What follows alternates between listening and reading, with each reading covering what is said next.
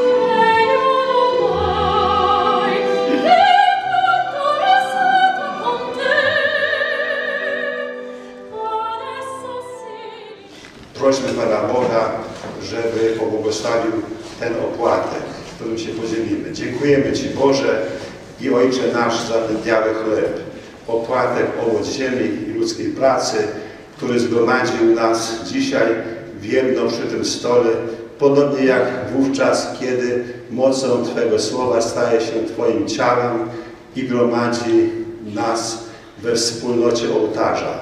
Pobłogosław nas i te opłatki, którymi będziemy się łamać i zwyczajem Ojców naszych składać sobie wzajemne życzenia świąteczne.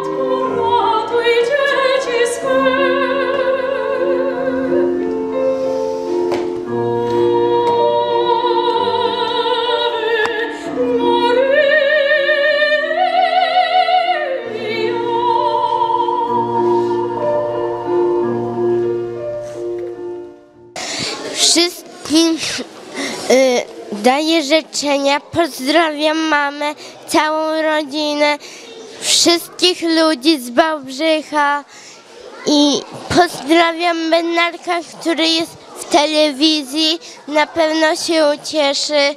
Jestem jego fanką i przyrzekam, że będę jeszcze w telewizji następnego razu. Dawno y, wiedziałam, że wszyscy ludzie mnie uwielbiają, bo wszyscy ludzie są naprawdę mili dla siebie. Dziękuję całej rodzinie, całej mojej rodzinie, tatusiowi Leszkowi. Dziękuję całej mojej rodzinie. Wszystkiego najlepszego. Wesołych świąt. Wesoły się maruczenia.